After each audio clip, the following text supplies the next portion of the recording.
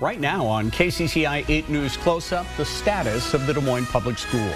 Our guest this morning is Superintendent Tom Ahart. The challenges facing the district and what he's looking forward to this upcoming school year. And he has overseen major, major development in Iowa's fastest growing city. Why Waukee Mayor Bill Peard is not running for re-election. KCCI 8 News Close Up starts right now. This is Iowa's news leader. This is KCCI 8 News Close Up. Good morning. Thank you for joining us. He oversees the largest school district in the state, and this morning he's here with us to talk about the status of Des Moines Public Schools. Tom Ahart became superintendent back in 2013. Prior to that, he was the principal at Harding Middle School. He's also served as a director of human resources for the Ankeny Community School District, and he spent 11 years as a high school teacher. Superintendent Tom Ahart joins us now. Thank you very much for being here. It's a pleasure. So school has just kind of just gotten started. What are you looking forward to uh, for Des Moines Public Schools this year? Well, we have uh, three really pretty significant changes, um, which we, we uh, announced in January of last year, but we're now experiencing those in real time. We made a, uh, a, another change to the elementary school start time. So we went from 7.30 a.m. last year to 7.45 a.m. this year. We were able to figure out a way to eke out another 15 minutes in the morning to, uh, to make the, hopefully the morning routine a little bit more smooth for those families that have kindergarten through fifth grade students. Um, so far that's working quite well. Uh, another big change was a change in the high school master schedule. So we, uh, for, for many years, we have, we've been running a four by four block schedule where students have four long classes on one day and then on every other day they have four different classes that met for between 85 and 90 minutes. Uh, for a variety of reasons, we changed to what we're calling a modified block schedule, where students take seven classes rather than eight classes over the course of a semester. Um, each of those classes meets for some short periods on some days and longer periods on other days. Um, we did that for a variety of reasons. Uh, our students were telling us that they, they felt like they needed stronger relationships with their teachers, and so that the modified block gives us an opportunity for our students to spend more time in each class over the course of a week with each of their teachers, hopefully building um, better collaborative relationships. It also increases the uh, number of instructional minutes that our students receive on uh, any given week, so we hope to improve academic outcomes um, in, in that regard.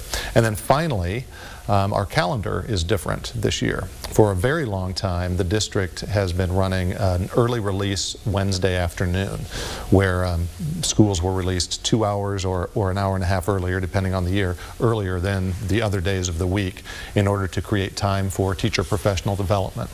Um, this worked out well for us in terms of teacher professional development, but we learned that it, it inconvenienced some of our families who really rely on, um, on their students being in school for the full day um, because daycare is sometimes a bit of a challenge on, on, a, on a day that is a one-off from the rest of the week. And we also wanted our students in school for the full afternoon to uh, prevent hopefully some some poor decision making by some of our older students when they have a little bit of extra free time to roam around the city. Um, what that enabled us to do, however, was to capture those instructional minutes. And so we actually have fewer days of school this year than in previous years because we're able to count those minutes that before we had to subtract for that professional development. So we think that's going to be overall um, a really positive all, all the way around. Okay, the district has also expanded the free meals program to include more schools. How great is the need in the Des Moines district and uh, what has the reaction been to this move so far?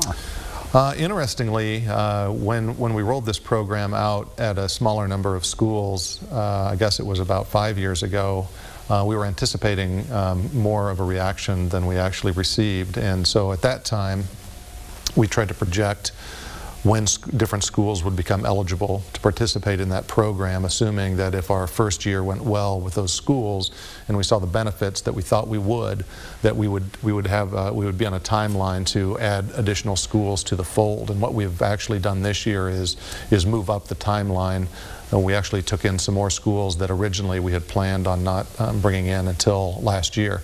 The good thing about that is um, it saves a tremendous amount of administrative costs and it really makes all of our students feel more comfortable because we're not having to delineate between students who qualify for a free or reduced price meal and those that don't. So overall, um, we're able to feed more students and, um, and we're able to do that more efficiently. The bad news is that, that um, more of our schools are eligible because the poverty rate in, in the uh, district continues to increase. So last year we, we cleared the 76% mark for students that qualify for free and reduced price lunch.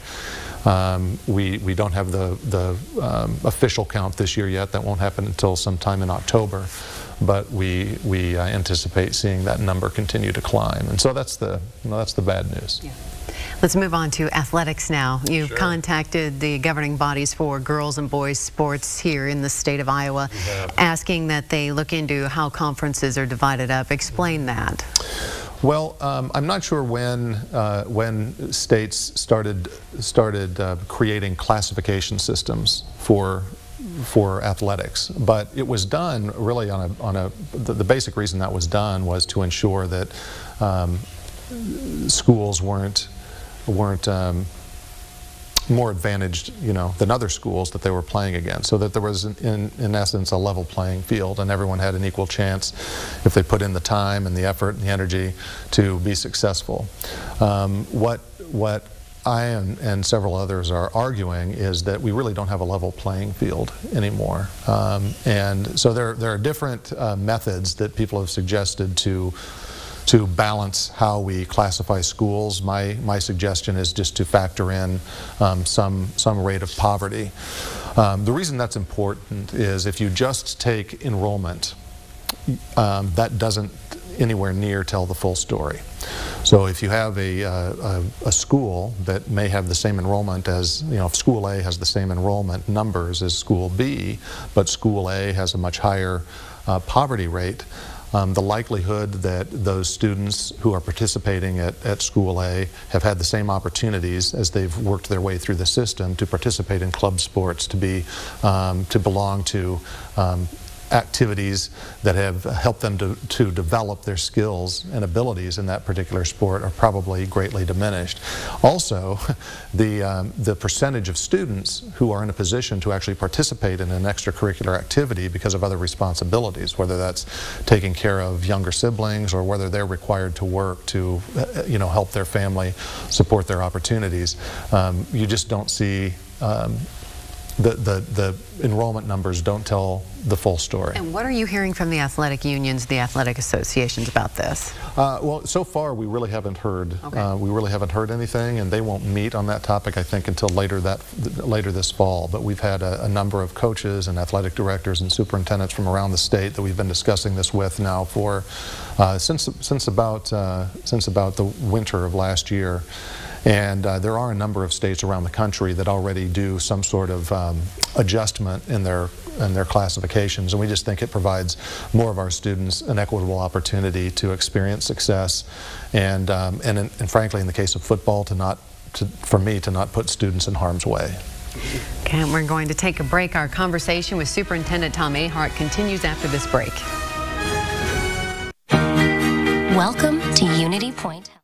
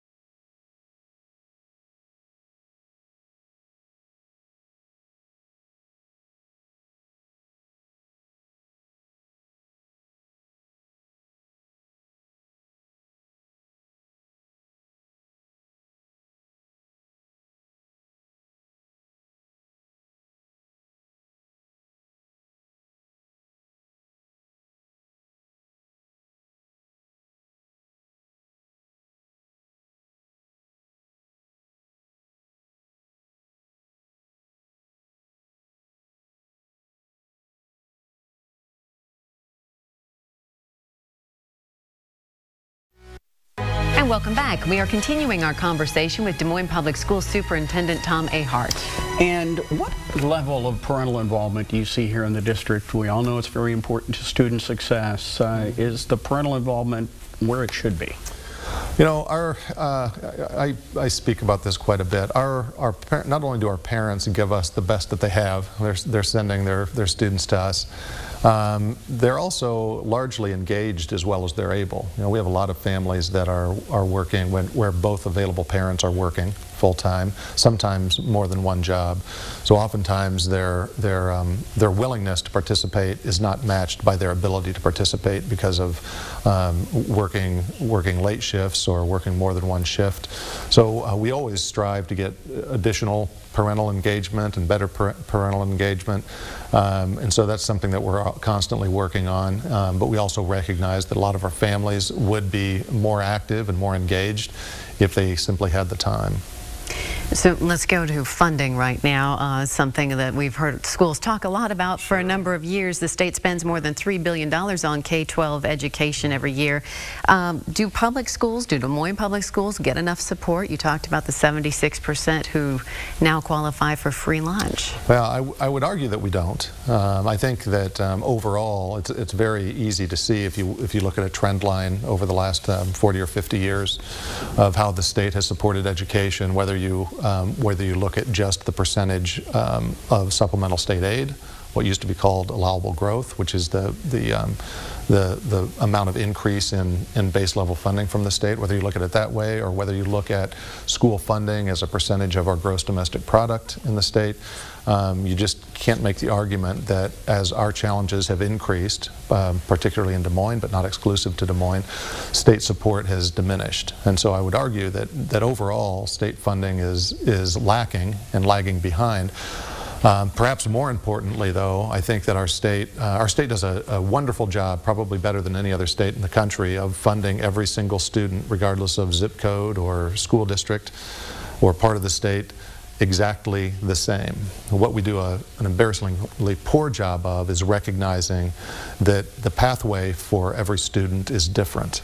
And so we can't make the assumption that all of our students have um, all of the advantages that perhaps um, we had or that most of our legislators had when they went to school. And so a student who's coming into into a public school that um, perhaps doesn't speak English as a native language and doesn't speak English at home requires additional support and resources than, than my children to, to be successful and, and achieve the same outcomes that we hope for all of our, our students. And if they have, if they uh, are coming from a disadvan economically disadvantaged home, there are things that, um, to, to provide equitable opportunity, there are things that the school district must, must um, provide that perhaps um, other school districts don't need to provide. So what is the adequate amount? What's the ideal amount? Well, I don't, I, I, am not sure I'm prepared to speak in ideal terms. Um, I would probably sound uh, really Pollyannish um, when I, if I dream big.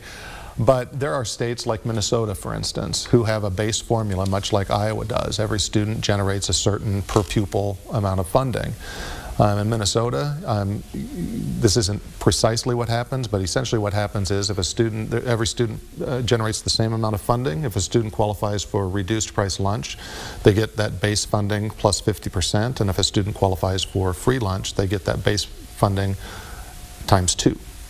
So um, they recognize on the front end that in order to provide an equitable experience and certainly to provide equitable outcomes on a reliable and ongoing basis, different students require a different, different level of resource. Okay. Do you get the impression from the legislators as you talk with them that they are looking at educational spending as an investment in the future or something a hole that just needs to be filled?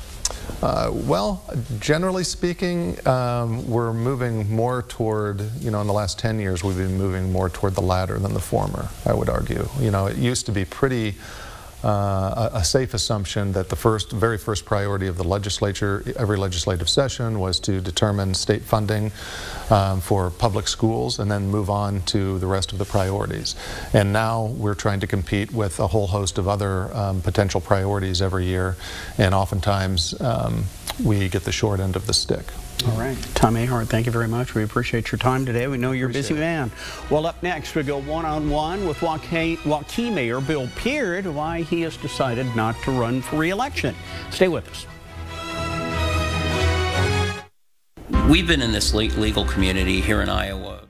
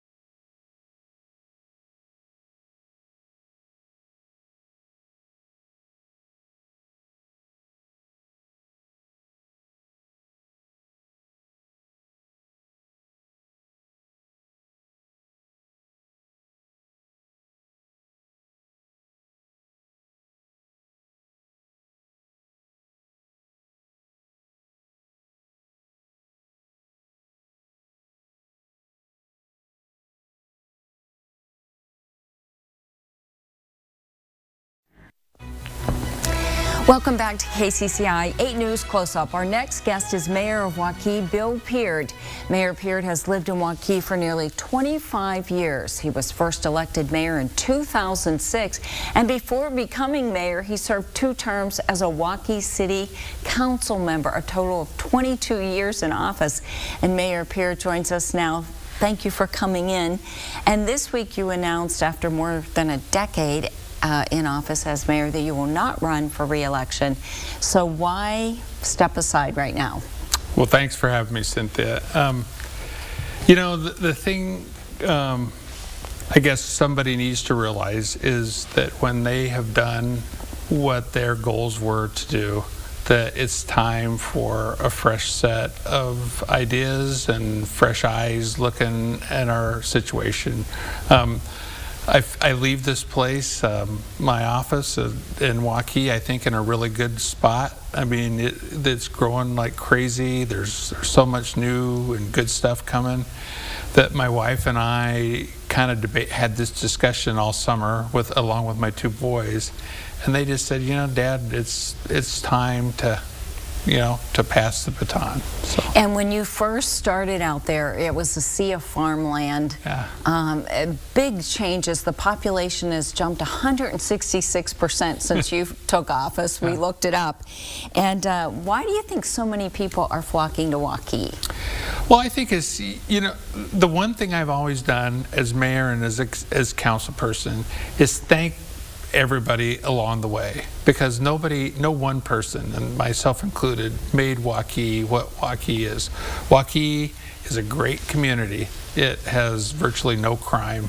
It has excellent school systems. It has a community feel to it. So, so I've had people come up to me over the years say, "We just love Waukee, and thank you for for serving." And it really is not it's a pleasure to serve. It's it's not an obligation to serve. Um, so so I think that's I mean that's why Waukee um, has been so successful, and, And and, the school district has been a big big part of that because people are coming because they're moving out for the school districts. You know, uh, the kids get a qual- great quality of education. Both my boys went through it, and now I think you're seeing the grandparents moving from other parts of the state so they can be close to, to the kids. grandkids. So And not just um, residents walking there, but businesses as well. Absolutely. Why is it so attractive to businesses?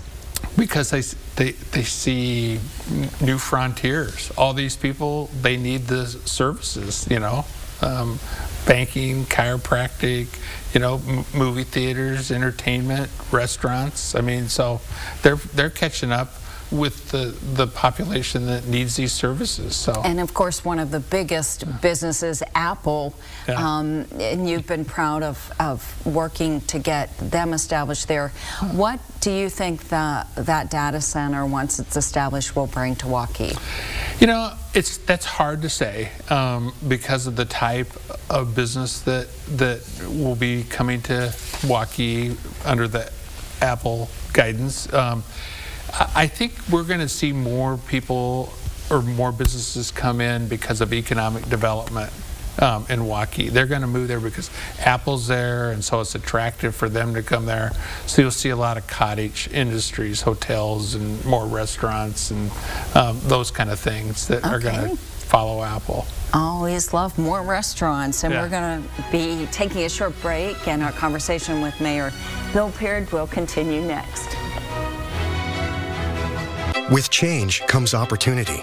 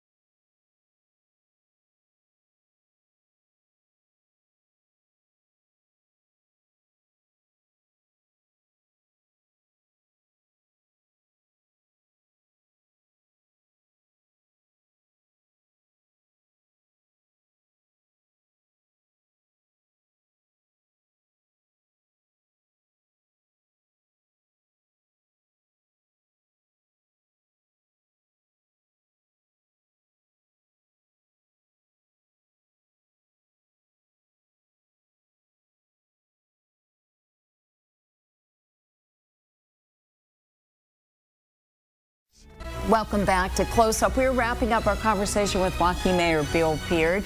And Bill, 22 years, a long time, 14 years as mayor in Waukee. What are you most proud of? Well, I I'm most proud of, of uh, the type of development that we have um, attracted in Waukee. Um, very few towns or cities get the opportunity to paint a blank canvas. And in Waukee, when I started, Waukee was a blank canvas. It was a small town, kind of a kind of a sleepy little town, but a but a great little community. And now the people are coming, and the growth is happening, and so we're able to plan um, Waukee out to where it makes sense, and it's it's it's a beautiful type of. Uh, community. And I'm going to name a couple of projects that you helped us see through. And just a quick reaction, the Grand Prairie Parkway, that was your baby. It was my baby. I, I started uh, going out to Washington, D.C. and lobbying our federal delegation to get that interchange in the Grand Prairie Parkway Road from the interchange to um, Waukee. So the, that, absolutely, that was my baby. That's probably the core. And then that led to more development along Alice's Road and up toward Hickman. Yeah. Just explosive. Absolutely. growth. It was because of um, a lot of that explosive growth in Hickman is because they knew that Grand that Grand Prairie Parkway was coming, and that brought traffic in. Because it's about traffic management, that Grand Prairie Parkway. It's to get our traffic around the city in an efficient way. So. The new IMAX Theater. IMAX. I, I love I love movies, uh, and so the fact that IMAX invested in Waukee, I think, says a lot about our city, um, our community, um, and uh, it's a state of the art. I I welcome anybody that that loves to come see movies to come out to Waukee and go to one of those movies in the IMAX because it's it's phenomenal. Is there anything looking back now that you wish you would have done differently or anything you regret? No, because I think a lot of what I've learned and a lot of the experience that uh, that I have done has has been a learning experience. It's made me, you know, I think a pretty well liked mayor and and somebody that has the passion. If you don't have passion for this job, it'll it'll eat you up because it's it's all about fixing things and being community. So so no, I, I don't have very many regrets. And you still, and there, you're leaving with a lot of projects on the table, um, trail system, parks. Right. Yep. You know what? It, at some point, you have to step off and let the and let the new generation of people um, take walk key forward. Excuse me, um, because I it could be 20 more years if I just waited until Waukee had stopped. You know, the rapid growth. So I'd be 80 years old. You know, so so you just pick a point in time, and and I'm not unique to Waukee. There's going to be lots of good people um, follow me. Uh, we've got great council and great staff, so it's in good hands. And uh, in the Little Waukee Source magazine, uh, you're listed as top 50 best places to live in America, top 10 fastest growing U.S. suburbs, top 10 best for families. The list goes on and on. So um, you can be proud. And, and what do you see uh, as your next chapter, briefly? Um, probably uh, cleaning the house and, and and doing some landscaping and and, And you have a full-time job. and, the, and I do have a full-time job. I work for the Iowa Cable and uh, Telecommunication Association as their executive vice president, and I do want to give them um, a thank you on the air for allowing me to serve because they've been very good in in my schedule and that schedule. And we want to thank you for serving. Thank you so much. And Yeah. thank you for joining you, us. We wish you all the best. And we hope to see you again next week for KCCI 8 News Close Up.